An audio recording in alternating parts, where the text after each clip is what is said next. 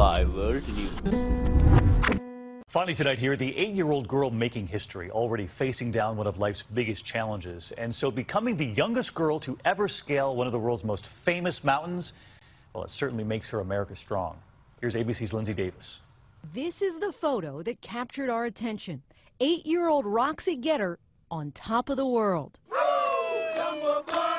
After a five-night, six-day trek, this young girl from Florida just made history. I finished climbing the top of Mount Kilimanjaro. Making her the youngest girl to ever reach the top of the 19,341 foot summit, the highest peak in Africa. I made it up. An extraordinary feat for anyone, let alone Roxy, who had open heart surgery at the age of one to correct a heart defect. Seven years later, here she is, high above the clouds. That was hard. I was so tired. I could barely even walk. Her 10 year old brother and her parents with her for every step.